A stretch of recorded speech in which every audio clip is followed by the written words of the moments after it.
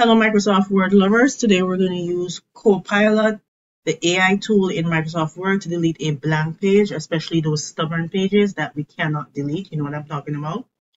This is the page here. This is a BOL that was created in the past and for various amount of reasons it's so difficult to delete the page. I tried so many ways to delete it and the page would not move. So I had a bright idea to just use the Copilot tool. Now this is Copilot. This is what the logo looks like. When you just log into Microsoft Word, let me just open a blank new page to show you. New page. It always introduces itself, asks you what it would um, be useful for to you. And it's Microsoft Word's AI, aka Assistant. It helps you to perform tasks and any other thing that you need to be done in Microsoft Word. So let's close this blank page off.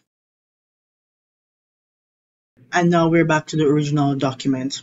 Now we click the logo or the Copilot logo until the search bar or the bar comes up where you could type and ask it what to do or give it commands. And all we're going to type is delete this blank page. One thing you must ensure is that your cursor must be on the blank page itself. That's that blinking thing like this. It's in the background here.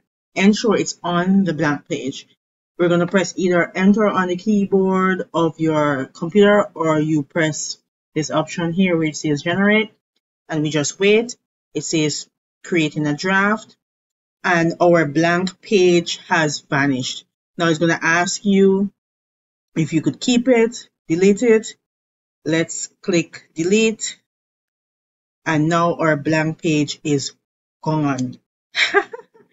this is so amazing. I've been using Microsoft Word for almost three decades. And this is the easiest to delete a stubborn, this is the easiest way that I've found so far to delete a stubborn blank page that just won't leave you alone, especially when you create like these tables and then you mess with your borders and there is just absolutely no way you could get rid of that blank page.